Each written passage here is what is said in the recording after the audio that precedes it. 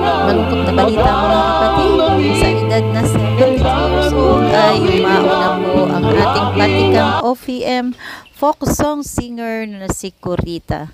At ah, makidalamhati po tayo sa kanyang pamilya, sa kanyang ah, asawa, at nag-aruga at nag-alaga sa kanya.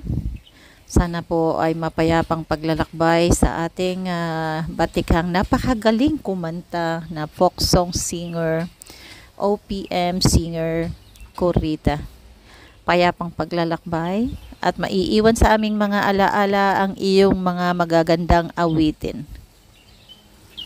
iyak Oo. pagka narinig niyo yung mga malulungkot na kanta sa TV, Oo. yung kanta niya, bigla na lang